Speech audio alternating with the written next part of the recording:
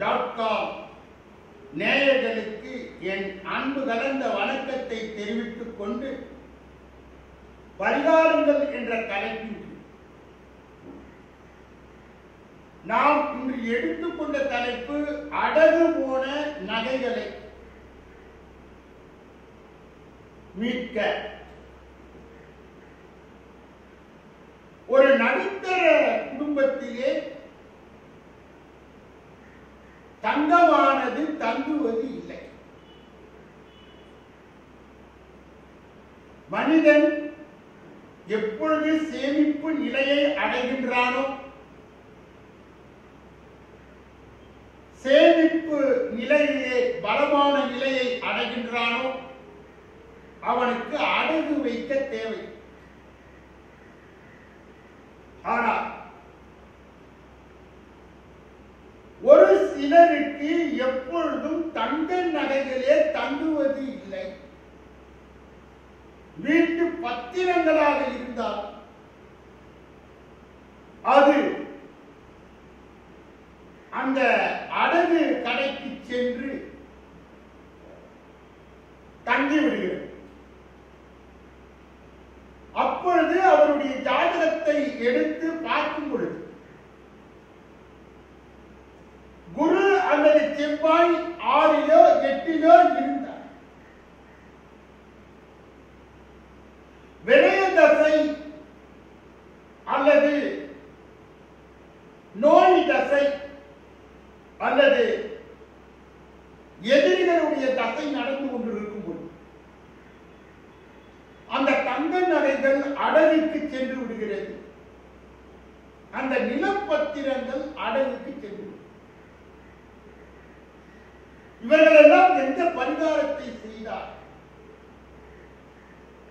அடகு கடைக்கு அந்த தங்க நகைகளை செல்வதை எப்படி தடுத்தார்?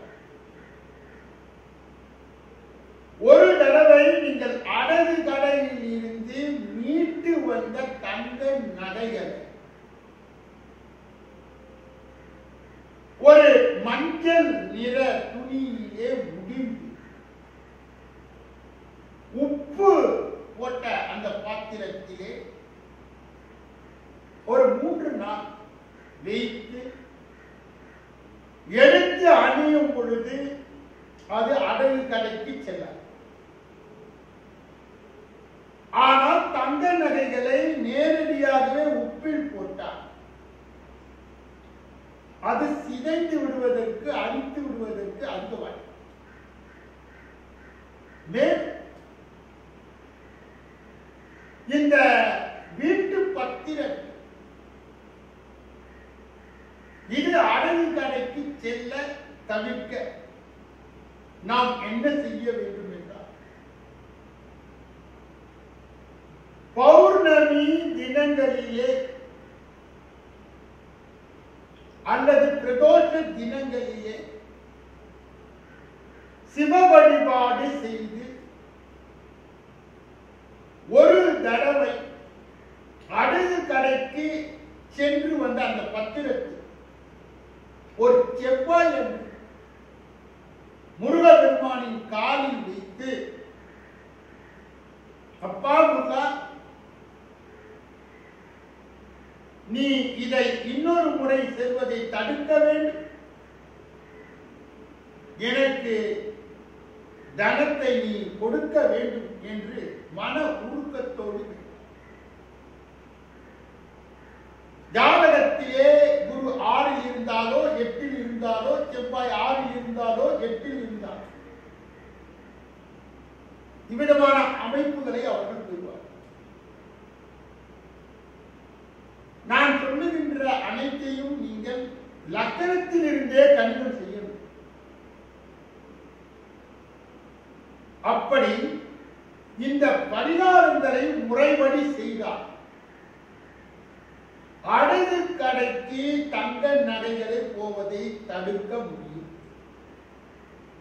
அதுபோல் இந்த முருக வழிபாடு பிரதோஷ வழிபாடு பௌர்ணமி அன்று சென்று சிவனை வணங்குகின்ற அந்த வழிபாடு. குறிப்பாக கால பைரவரை சைவ உணவு உட்கொண்டு சனிக்கிழமையிலே செய்கின்ற வழிபாடு. தங்க நகை அடகு கடைக்கு செல்வது. வீட்டு மனை பத்திரங்கள் அடகு கடைக்கு செல்வது. தடுக்கின்ற சக்தி ஆற்றல் இதற்கு நிறைய இப்படிப்பட்ட பரிகாரங்கள் பொதுப்படையாக இருந்தாலும் நீங்கள் ஒரு முறை உங்களுடைய தனிப்பட்ட ஜாதகத்தோடு என்னை வந்து சந்திக்கும் உயர்வான பரிகாரங்களையும் சரியான பரிகாரங்களையும் பொருத்தமான பரிகாரங்களையும் சொல்லி வழிநடத்த தயாராக என்பதை நினைவில் கொண்டு நான் சொன்ன இந்த பரிகாரத்தை கடைபிடித்து மகிழ்ச்சியாக நீங்கள் வாழ வேண்டும். என்று எல்லா வல்ல முருகபெருமானை இந்த பகுதியை பூர்த்தி செய்து நாளை தினம் உங்களை சந்திக்க இருக்கின்றேன். நன்றி வணக்கம்.